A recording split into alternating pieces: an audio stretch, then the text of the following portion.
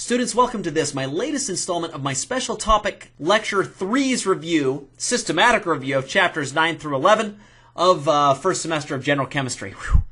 In today's lecture, we're going to begin by reviewing heat curves and a few additional enthalpy questions. Are you ready? Let's go ahead and get started. So when ice is heated from negative 25 degrees Celsius at 1 atmosphere, its temperature rises. Now just so you know, it stays solid as long as it remains below 0 degrees Celsius. At 0 degrees Celsius, however, the ice starts to melt. Because melting is an endothermic process, the ice stays at 0 degrees C until all the ice has melted. You can see that shown in this diagram, which is called a heat curve. Once again, we're starting our ice at negative 25. Its temperature gradually raises, but this whole time it stays solid. Solid, solid, solid, solid, solid. As we're pumping heat, the temperature changes, but once it hits 0 degrees Celsius, there is no temperature change. Instead, all of the heat energy is used to convert gradually the solid water into liquid water. Once that water is converted into a liquid, at that point, more heat pumped into the system will gradually raise the temperature of that now liquid water. Now, as the liquid water's temperature increases, it eventually gets to 100 degrees Celsius. In between, this entire time, it's liquid. At 100 degrees Celsius, much like we saw at 0 degrees Celsius, we start to see a phase change. The liquid water begins to boil. However, the temperature does not change. Right at 100 degrees Celsius, anytime we introduce more heat, all of that heat energy does not go toward raising the temperature. Instead, it goes toward converting the liquid water into gaseous water. That will continue to happen until all of the water has completely converted into gas. After that point, then additional heat energy will change the temperature of the now gaseous water. This figure, which depicts all of that, is called a heat curve and illustrates how the whole process unfolds. So that takes us to a great lecture question. What does the following curve heat show if you trace it completely from point A to point F. I'm not going to answer this for you, but I'll invite you to think through this and look at it, and then come up with the answer on your own. Here's another question. Which of the following processes is exothermic? Now remember, processes that are exothermic are ones that give off heat. So you can sort of imagine if you're holding your hand near a melting solid, does that feel warm? Or a liquid that's boiling, uh, or being able to convert a liquid into a boiling liquid, does that consume heat or does it give off heat? Whichever one gives off heat, that's the one that's exothermic. Here's another one. The enthalpy change, or delta H naught, for this transformation, converting liquid ammonia to gaseous ammonia, is equal to this number. And it is positive. What is the enthalpy change of boiling 350 grams of NH3? Now, I'm not going to do this for you here, but I will post a link here to a separate video in which I do that you're welcome to click if you wish to review. We now move on to another topic, that of intermolecular forces. The first intermolecular force that we're going to review is dipole-dipole forces. Here's my explanation of what that means. When you have a molecule that has a polar bond in it, remember a polar bond is one in which two different atoms have a significant difference in their electronegativities. Not so significant that that it's an ionic bond, but just one where there's a partial negative and a partial positive charge. When you have that kind of bond, it causes the molecule, once again, to have a partial negative charge on one atom and a partial positive charge in another. When molecules like this cluster together, they line up and stick together in a complementary fashion like this. This is the example of hydrochloric acid. Chlorine is much more electronegative than hydrogen, so it hogs the electrons towards itself, thereby giving it a very strong partial negative charge, leaving the hydrogen as a very strong partial positive charge. When you have a bunch of HCl molecules all together in a soup, the HCl's will line up in a complementary fashion so that the partially negatively charged chlorines are pointing or kind of sticking to partially positively charged hydrogens and vice versa. This force is once again called a dipole force. And this force, this stickiness between molecules, is what gives HCl its relatively high boiling point compared to molecules that have weaker intermolecular forces. The second force I'll teach you is hydrogen bonding. Now, when a hydrogen atom is bonded to a nitrogen, oxygen, or fluorine, those three magical elements and those alone, it forms a special type of dipole-dipole force called a hydrogen bond. In this example, we can see water. Once again, oxygen as well as nitrogen and fluorine are so much more electronegative than hydrogen that when they bond to hydrogen, they form a very strong dipole. It's not an ionic bond, it's still covalent, but it's a very, very strong dipole where there's a much more partially negative charge on the oxygen and a much more partially positive charge on the hydrogen than there would be in the example HCl that I just showed you. So, similar to the HCl example, water molecules will line up and stack on each other in a complementary fashion, pointing their partially negatively charged oxygens at the neighboring partially positively charged hydrogens and vice versa in all directions. This is what's going on at a molecular level if you were able to look very, very closely at a cup of water. Zillions of molecules, and zillions isn't technically a word, but it's a lot of molecules with uh, this kind of thing happening in a complementary stacking effect in all directions. Furthermore, this intermolecular force is what contributes to water's extremely high boiling point relative to molecules that have weaker intermolecular forces. Think about it. You have to heat a bucket of water to 100 degrees Celsius, which is really hot, to get the molecules in it to start wiggling around enough that they'll break apart and then start escaping as gas. That's really high, especially when compared to molecules that have weaker intermolecular forces that I'll talk about momentarily. Our next intermolecular force is called ion dipole. When a polar molecule, that is one that has a dipole, is near ions, those are molecules that have ionic bonds, which are not the same thing as covalent. The partial positive charge on the polar molecule will line up with the completely negatively charged ions, and the partial negative charge in the polar molecule will line up with the completely positively charged ions, like this. This is an example where I've got sodium chloride. Sodium chloride is completely ionic. Once again, make, please make the distinction in your minds. In an ionic bond, I've got more or less a complete transfer of electrons. The sodium gives up its single valence electron to the chlorine completely. They're not sharing. There's not a partial plus and a partial minus. It's a total plus and a total minus. The chloride and the sodium get into water and then dissolve with water molecules taking away the sodium and the chloride separating them. The partially negatively charged oxygens in water now line up with the positively charged cation in sodium, and the partially positively charged hydrogens in water line up with the negatively charged ion chloride. This is why sodium chloride dissolves so well in water, because water is so polar. This intermolecular force here where I've got a force between a polar molecule, water, and a complete ion, chloride or sodium, is called ion dipole. And it is a very strong intermolecular force. The next intermolecular force I'll teach you is dispersion forces. Keeping in mind that carbon and hydrogen atoms are almost equally electronegative, they're not totally electronegative, but they're really close. Do you think that the following molecule is polar or nonpolar? If you said nonpolar, you're right. If you said polar, so once again, carbons and hydrogens are more or less very, very close in electronegativity. So there's not a strong dipole or strong partially positively charged uh, center anywhere and a partially negatively charged center anywhere else. It's more or less very blah, very bland all the way across the molecule.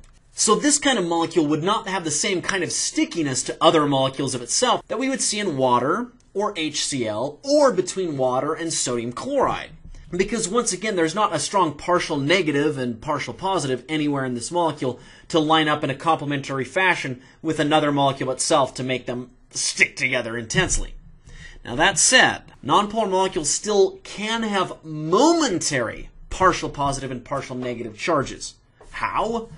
Well, because their atoms and electrons are constantly moving, you might imagine that there would be brief moments, brief moments, in which some of the atom's nuclei will be partially exposed, which would expose, for just a moment, the partial positive charge from the protons in that nucleus. While other nuclei will have brief moments when all of the electrons are all over them, giving them partial negative charges.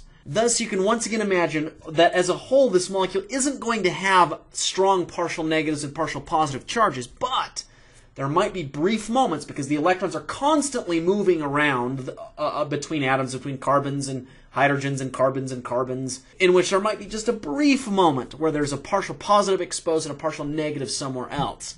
These two videos to which I'll post external links, and happen to both be narrated, I think, by robots, help illustrate that, and you're welcome to watch them to capture visual images of this.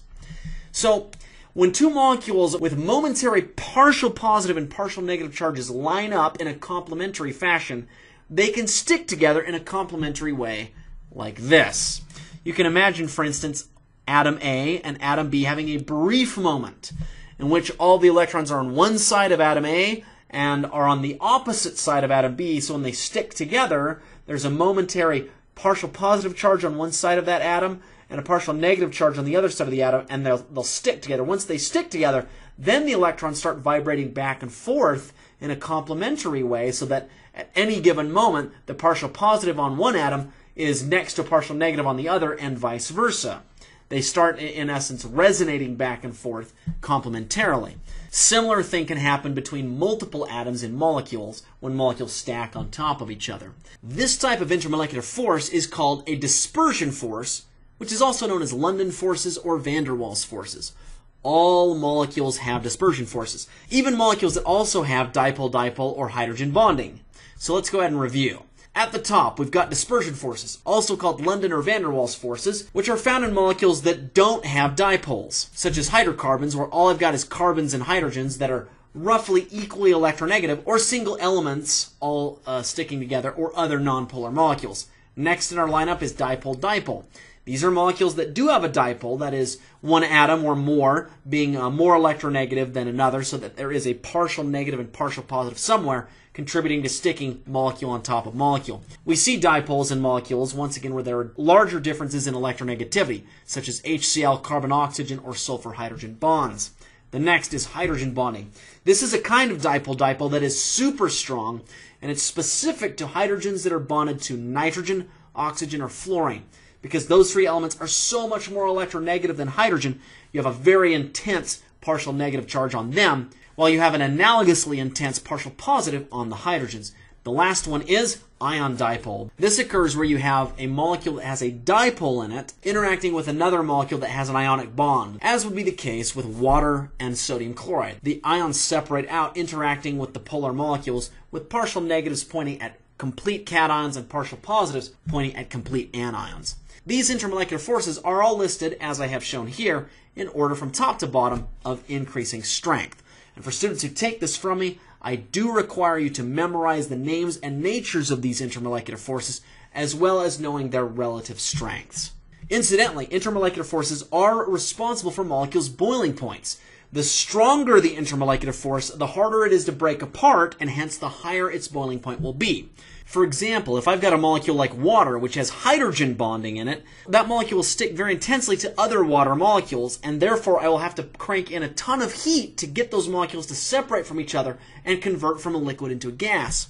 By comparison, if I've got a molecule of similar size that only has dispersion forces, which are much weaker, it won't require as much heat to get them to convert from a liquid to a gas. This is in fact the reason why molecules like methane, ethane, and propane are gases at room temperature and pressure, while water, which has a very similar molecular weight, is a liquid at room temperature and pressure because methane, ethane, and propane just have dispersion forces and therefore don't stick together very intensely at all and will just be a gas at standard conditions. Whereas water, which is a relatively small molecule, will stick very intensely to other molecules of water because it has hydrogen bonding.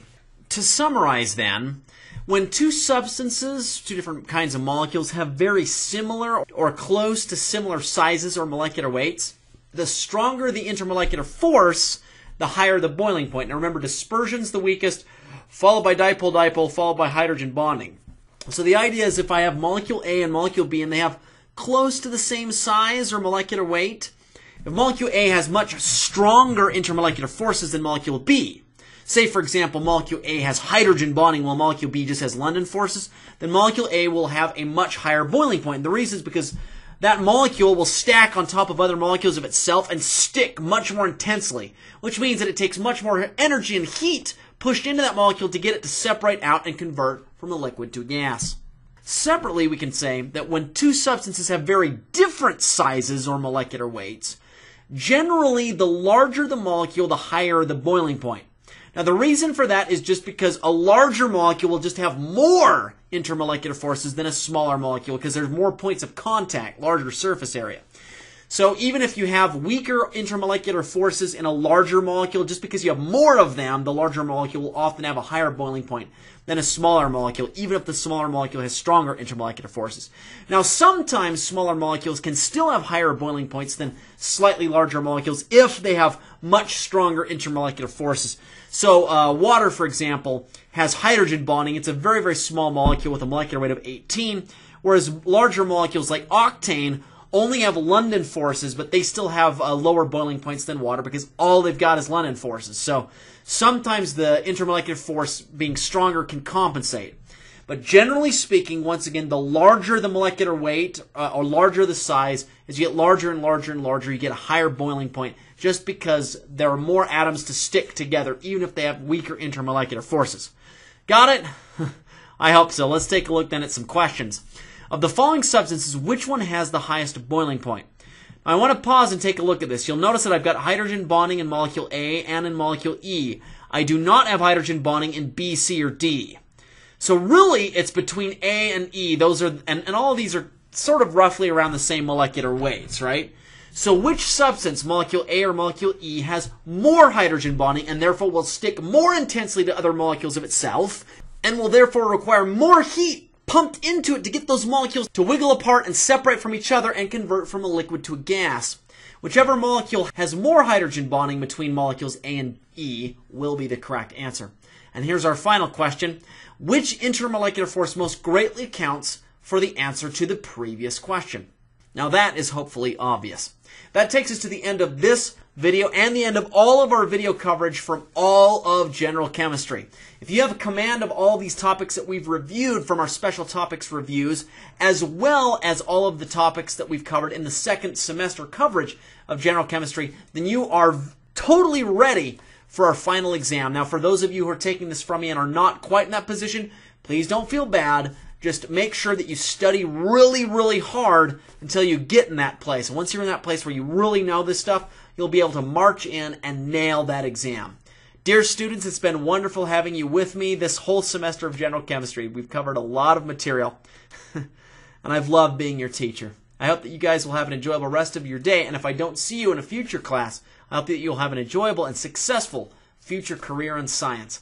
Until then, and until whenever, have an enjoyable rest of your life. see you guys later.